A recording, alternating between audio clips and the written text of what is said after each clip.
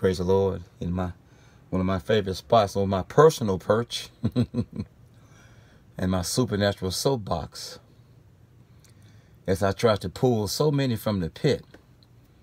And I believe that's why it's called a pulpit. Because we're to pull people from the pits uh, from whence we came. There's so many pits I can pull you from because of life and sad experience and sad experience.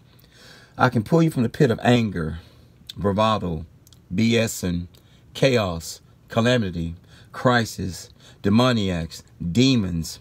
Uh, I can pull you from the pulpit of ego, egotistical, evil.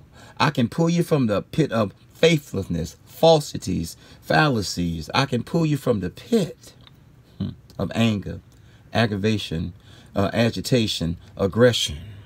Who have you pulled from the pit as I leave this alone?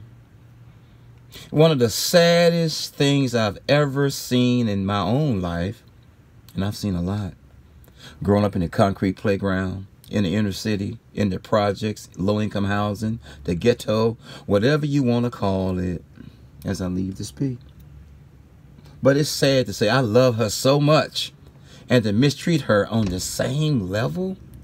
I love him so much but to mistreat him on the same level, my mom and dad had an old saying, you can't shoot me and operate on me.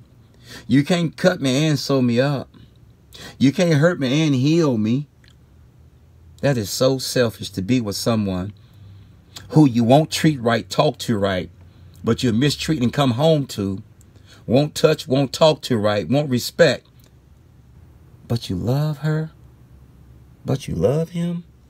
So selfish. You won't set them free, and if they try to get away, you turn up the heat. If they leave you, you put the car on flat. You won't pay the mortgage. You won't pay the rent. You try to destroy them with their own parents and families. Some of y'all are guilty of this, certain of y'all, and I'm certain of this, as I leave this alone.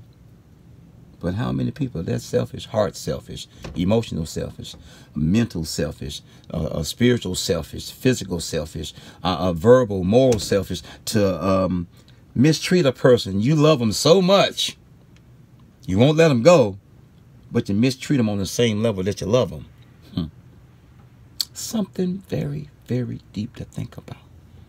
If you love me, treat me right.